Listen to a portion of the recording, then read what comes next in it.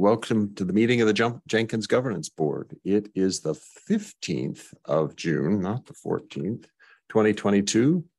And uh, topics I've got on the agenda include include news, that one, action items, where I'm proud to have finished one, a question related to embeddable build status plugin, and our usual forums and community topics. Any other items that need to be on the agenda? Okay, then let's go with, go with the news first.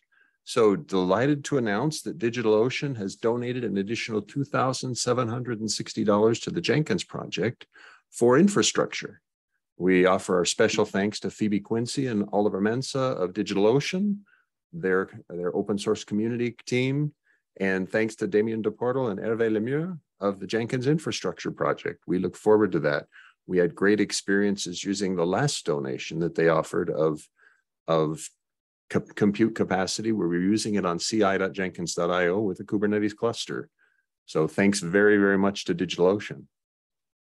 We also announced that 2.346.1, the next long-term support release comes out next week. It will also include security fixes. There will be a matching release from the 2.332 line, so 2.332.4 on that same day and a weekly will arrive that day with the security fixes.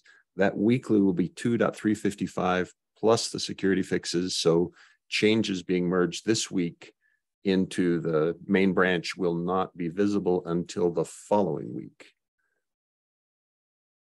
On the required Java 11 news, we're looking forward to one week after that LTS, the week of June, during June 28th, uh, we will release our first weekly that requires Java 11, no longer supporting Java 8. And then roughly three months later, the September LTS will also require Java 11 or newer.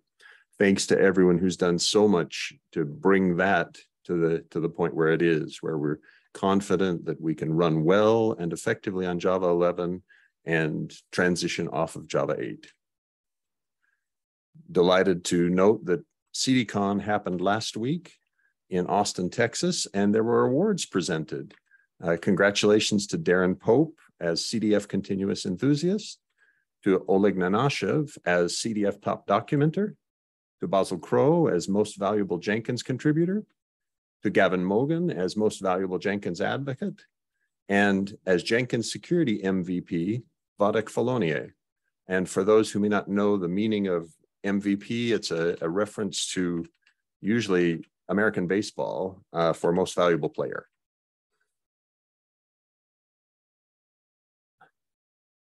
During CDCon, we had a contributor summit, and there we were really pleased by a presentation from three employees of Elastic, Manuel de la Peña, Ivan Fernandez, and Victor Martinez talked about open telemetry and highlighted how they're using it. Open telemetry provides distributed tracing, logging, and metrics, and they're using it in their Jenkins installation at Elastic to monitor jobs and watch their progress and identify bottlenecks. We also had a user interface, user experience improvements presentation by Tim Jacomb. Uh, included highlights like keyboard shortcuts are coming, and more improvements to the plugin manager and better interactions with the, the sidebar. Olivier Vernin also led us in a conversation about what we do about the rather large number of core maintainers that are now inactive. And what he proposed is an alumni group similar to the Jenkins Infra alumni group. What that does is that allows these contributors to retain their account in the Jenkins CI organization but changes their permissions from the elevated permissions that a core maintainer has to a lower set of permissions while still keeping them in the group. Now that needs further discussion. It's a proposal right now, and we'll we'll bring it to the developers mailing list and go further discussing. Uh, now, in all of this, I owe a blog post summarizing the results of the things that I just described. And Oleg Nenashev presented a uh, his view of what the future of Jenkins should be. Any questions or concerns on those topics on the on the uh, news section? I don't have any concerns, but I think an alumni group is a great idea. Thanks. Yeah, it, I think it's worked quite well in the infra project. It's been there for, I believe, a year or maybe even two years now, and it it allows the flexibility we need, and someone can who wants to become active again can easily be granted their permissions again. In addition to being in the alumni group, so it's a, you can move in and out of groups pretty easily. Next, on action items, I am proud to say that I've completed one action item. Uh, I was supposed to check with Tracy Miranda on the FOSDEM funds transfer. What happened was at FOSDEM 2020, CloudBees donated t-shirts that were then sold as a fundraiser uh, for the Jenkins project. The, the funds from that had been with Tracy in at her home in Canada for the longest time.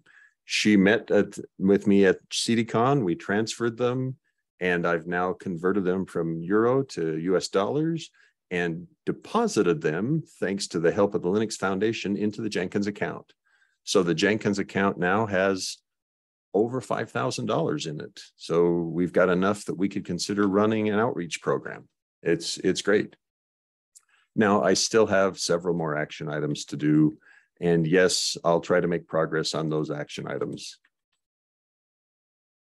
Now we had one item that was flagged on to the Jenkins governance board. This came through a, a bug report. The issue report was raised just yesterday that what's happened is a particular plugin is bundling a proprietary font. And we either need the licensing that says we're allowed to distribute that proprietary font, or we need to get it out of the plugin. So the proposal is that, at least my, my proposal, my draft idea is let's allow up to two weeks for the maintainer to correct the issue. And if not corrected, then, then we, we need to suspend distribution of the plugin or take ownership of it or adopt it and uh, remove the, uh, the offending component. Any questions there? And so this one will be discussed on the board mailing list. This matches what we've done in the past, if I recall, with the uh, with, with some other plugins that have had proprietary components. Bundles. Exactly. Yeah, it, it is consistent. I need to, I actually need to do the research to be sure precisely how we handled them because I'm not sure that the two week timeout is consistent, but I haven't done that research yet. But yes, it's, uh, it's, we've used that technique and suspended distribution of plugins that contain proprietary components.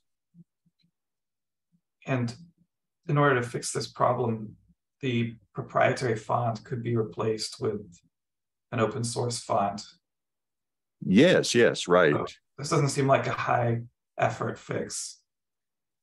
So it seems reasonable to to request that change to me. Right. And and that's that's that's one alternative. I think it could be just remove the proprietary font and references to it.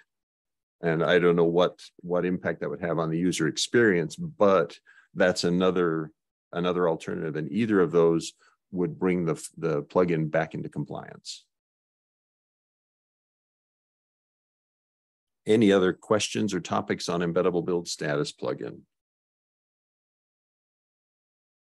All right, then last topic was forums and community topics. So we had a recent question related to the systemd upgrade, and Gavin Mogan suggested hey, should we make the the answer that I provided as a, I think he called it a canned response. Apparently, um, community.jenkins.io has the ability to use prepared responses for rather common questions. And I think that's a great idea. I look forward to it. I hope it's hope we could use that because when someone hasn't read the upgrade guide, this is a pointer to, hey, read the upgrade guide and here's a blog post and here are two videos. And those those pieces of media usually will prompt people to do do their research to understand what they need to do.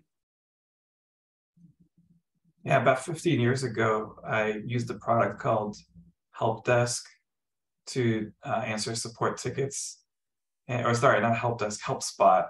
And they mm-hmm. had a, a, canned response feature that was pretty useful. Um, you know, you could define responses for various commonly asked questions and then, you know, press a button to essentially just paste that in and, and mail out the reply. So um, I think the only the, only uh, the reason that worked well for me in HelpSpot, you know, so many years ago was that the responses were written very well in a way that um, that answered very specific questions and didn't make the person who received it feel that they were getting a canned response.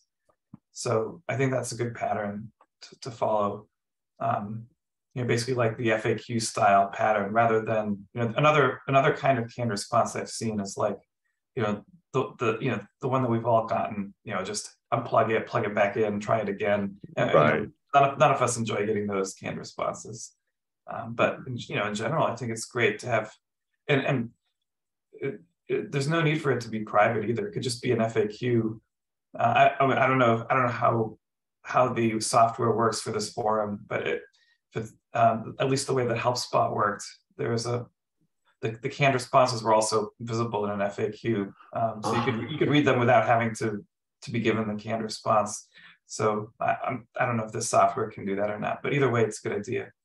Well, and, and you've got a good point. We we want to be sure that they are phrased in a way that one, they don't feel condescending to the user and they don't rebuke or lecture the user. They rather, hey, here's some information that will help you and encourage them and motivate them to oh yeah here's something great large on the screen you click this and it takes you to the thing that will help you. For me i like the i just like the visual presentation of the way community does this. I, I find it more attractive than the, the, the average web page.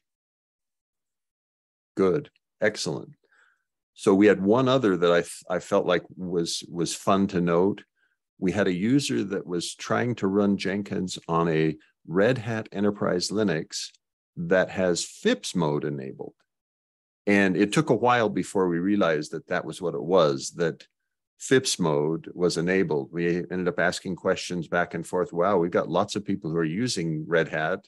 It works great. What's different about your environment? And one lucky guess was included a reference to this existing bug report that notes that when when running on FIPS mode Linux, it will give this assertion that the user reported, and that assertion is is associated somehow with FIPS. And I I think I understood the message to be that FIPS mode denies certain operations on certain kinds of private keys. And so with that denial, the user was blocked those are all the topics that I had. Basil, were there any topics that you had seen on forums or community topics that you'd like to highlight? No, I think there there is some work being done to better support um, things like FIPS mode.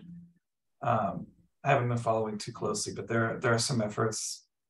Um, there's some efforts to detach um, various components into into plugins um, and, and to update those plugins for better compatibility with FIPS mode. So it may well be worth uh, trying this again in a month from now, or, or whenever that work has landed, um, to see if if uh, that takes us across the finish line, or if there's still more to go to get across that finish line. But it would be nice to get that added to our test matrix as well, and I think that would be good to advertise, or that would be uh, something we could proudly advertise if we finally do cross that finish line. Good point. Yes, thank you.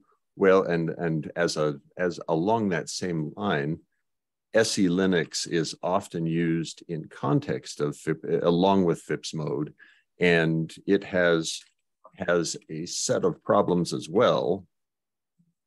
Um, in specifics, we've got I've got a submission from to one of the to the Git plugin that's related to specific behavior around SELinux, and um, that that that's a good story that more and more interesting things are happening in secured environments, in sort of hardened environments like FIPS or SELinux environments.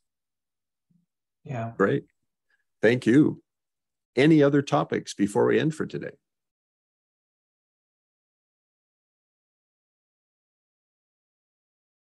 Okay, let's call today's session done then.